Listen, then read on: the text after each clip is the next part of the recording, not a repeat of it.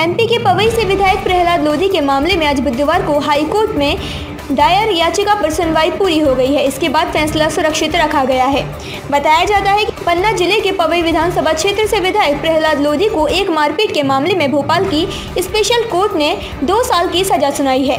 इसके बाद विधानसभा सचिवालय से प्रहलाद लोधी की विधायकी समाप्त कर दी गई।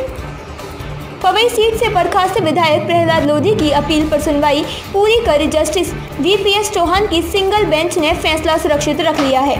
प्रहलाद लोधी ने भोपाल स्पेशल कोर्ट के फैसले को अपील में चुनौती दी थी। उन्होंने दो साल की सजा पर रोक लगाने की मांग भी की। महाधिवक्ता शशांक शेखर ने बताया कि पवई के पूर्व विधायक की निष्कासित पर रोक लगाने की मांग की थी। उन्होंने इसके लिए नवजोत सिंह सिद्धू के एक मामले का हवाला भी दिया है। हालाँकि कोर्ट ने फैसला सुरक्षित रख लिया है। गौरतलब है कि पवई विधानसभा से विधायक प्रहलाद लोधी ने अपील करते हुए कहा कि वे निर्दोष है। प्रकरण के अनुसार सतना ज़िले की तहसील जयपुरा में पदासीन तहसील आर के वर्मा ने 28 अगस्त 2014 को सिमरिया थाने में रेत से भरी ट्रैक्टर ट्रॉली को जब्त करके थाने में खड़ा कर दिया था। को हिंदी में क्या बोलते हैं?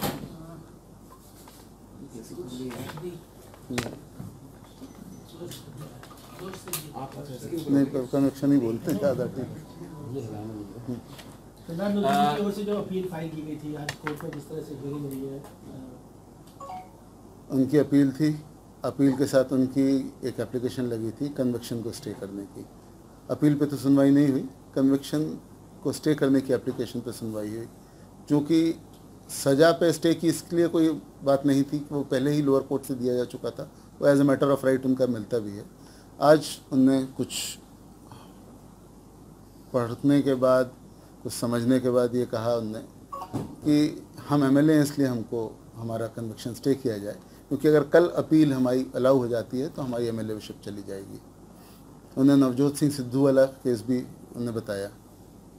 लेकिन बात यह है कि कोई परिस्थिति उनको एक्सेप्शनल सरकमस्टांस दिखाना था। ये दिखाना था कि उनका केस रेयर कैसे है। यहाँ इनका केस ये था कि एक तहसीलदार महोदय ने रेत का भरी हुई एक ट्रॉली पकड़ी, ले जाके थाने में रखी, केस बनाया। जब वो लौट रहे थे तो इनमें रास्ता रोका, कंक्रीट मशीन आड़ी रख के, फिर उनको मारा पीटा। हमने यही बताया कि जब पिछले साल तहसीलदार महोदय के बयान हुए थे तो उनने कहा था कि मेरे साथ ये सब घटना हुई है।